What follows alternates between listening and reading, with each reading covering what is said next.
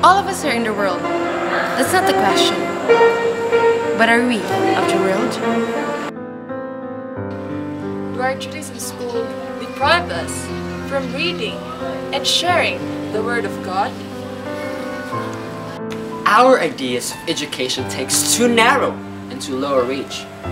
There is a need for broader scope, a higher aim.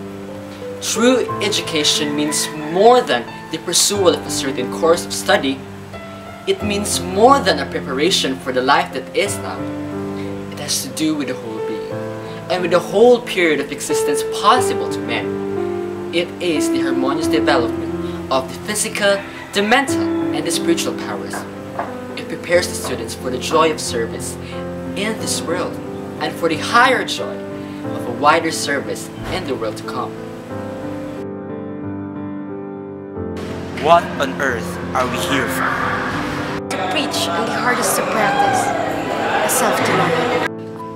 Because the way we think influences the way we act. It is selfishness when you are not to share the lessons you have learned from the Bible. Truth that is not lived, that is not imparted,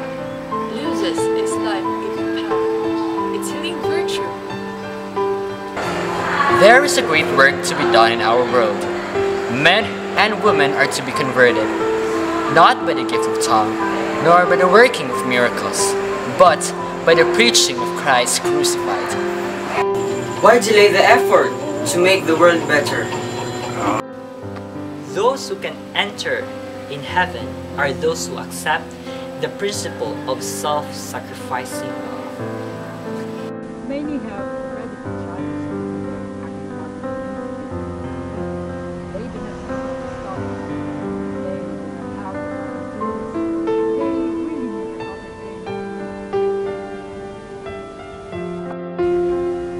are told that with such an army of workers as our youth, rightly trained, might furnish how soon a message for crucified, risen, and soon coming Savior might be carried into the world.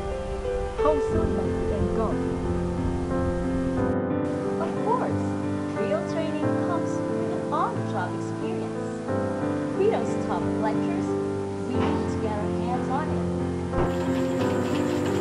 Let's start applying all the theories learned. Preach the word, be instant in season, out of season, reprove, rebuke, exhort with all long suffering and doctrine. Because faith without work is dead. The time is now. We are to give food to the hungry, clothing to the naked, and shelter to the homeless.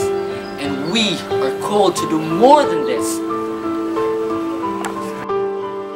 It's time to win souls in our campuses, do Bible studies, and lift up Jesus in our boarding houses. It's laboratory time. Let's walk the talk.